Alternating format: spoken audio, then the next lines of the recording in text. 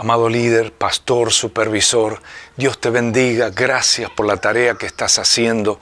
Gracias por mantener ese grupo fuerte y firme en medio de esta calamidad que ha venido sobre casi todo el planeta. Dios te bendiga. Felicito a los intercesores, felicito a los supervisores que están haciendo una tarea fantástica, que se siguen reuniendo diligentemente con los líderes de grupos que ellos han plantado.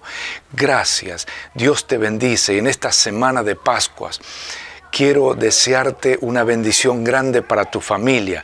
Algunos de ustedes están allí aislados, como en cuarentena, en su casa. Es una, eh, es una gran oportunidad, es una gran bendición para ser amorosos con nuestros familiares, para cuidar las necesidades de la familia como nunca antes y para unirnos más, para volver al altar familiar, para seguir leyendo la Biblia y orando juntos. Dios te fortalezca, Dios te bendiga. Amado líder, amada líder, sigue en tu puesto lleno de victoria, lleno de fe, sabiendo que vamos a ganar y que este es un tiempo glorioso para abrazar el mundo.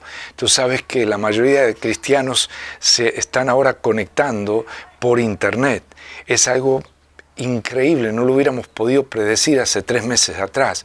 Y es una oportunidad para la Iglesia de Jesucristo abrazar todo el mundo con el Evangelio.